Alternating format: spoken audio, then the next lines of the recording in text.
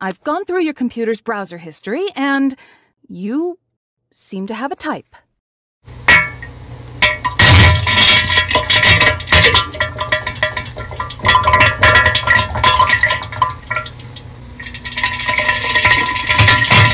And to help you lose interest in those sites.